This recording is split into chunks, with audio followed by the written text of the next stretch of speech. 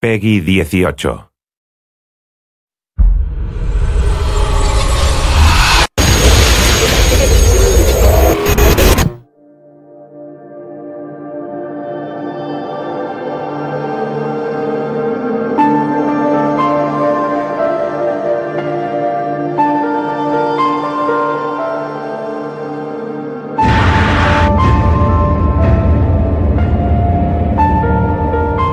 Life is a realistic post-apocalyptic survival adventure. Trying to bring a new twist to this genre that has been around for a while already.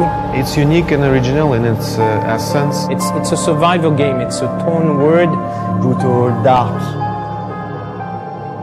The main environment of the game is uh, abandoned city. Civilization has collapsed, 90% of the human race is, is gone. No internet, no computers, no electricity anymore. He's separated from his family, he can't get back. That's in Haventon, 27 Arbor Street. It's right in front of the park, and well, uh, maybe, just maybe, someone will be there.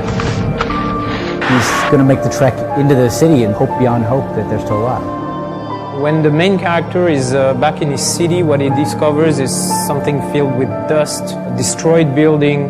The blur effect and also the grain effect were my main reference in terms of the graphic treatment. On the other hand, there's a few levels that are very contrasted with the natural lighting. The promise of this game calls for something different and it forced us to rethink a lot of the traditional mechanics that we have in survival games. Go away and maybe you don't get cut. For our main character, the direction is to build a true life normal guy. He has the same limitation as a normal human being. We used, you know, the old way of uh, managing life. Uh, that means it doesn't regen, you have to take care of your character. Instead of putting you in a world where everything that moves will kill you, we wanted more to emphasize the uncertainty. There are several categories of people in this world. Of course, there are innocent people. Hey, you really don't want to make an enemy of me. There are people who just defend the few things they still have, and there are other people much more aggressive. We shifted the challenge more on the strategic side of things. Look at him. He's shitting his pants one or two bullets, five guys, okay, what I'm gonna do? I can intimidate the other, I can bluff them, maybe I have no bullet. Um, I have to take care they don't guess that I have no bullet. Uh, we're in a realistic world, post-apocalypse. A single pistol is already extremely precious. There are different ways to fight in the game. You can use your machete. It's a physical fight. The bow is a stealth weapon. Once you shoot a bullet with a gun, okay, the bullet is lost. With a bow, you can take back your, your arrow. In I Am Alive, if you want to climb, if you want to do uh, something uh, unusual, it has a cost in terms of stamina. Everything has a cost. When the, the main character is reaching his limits, you have to perform an effort, uh, you have to button mash.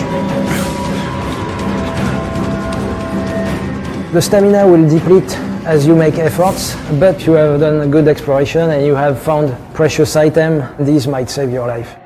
When you open your inventory, you have some medicine, you have some food cans. Every resource is critical. There's something special into the climbing. It's the Piton resource. It's a tool that allows you to get a rest when you're climbing. And there's also some victims, some people that are in a much worse condition than you. One of them broke my ankle while tying me up.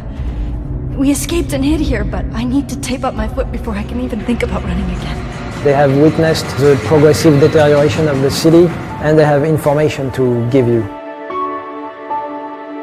We had to do smart choices in terms of production value, game length, without betraying the original promise of uh, I'm Alive. I don't think we would have been able to do the I, I Am Alive we wanted uh, if we had to do a box product. That gives you opportunities to experiment. There's a lot of uh, competition in action games, but we found something that is truly unique, visually, emotionally. We really ignore that we are making a downloadable game. We're making a game just interesting, which is fun, which is emotional. It's a big game. It's a unique survival experience that you won't find anywhere else, definitely.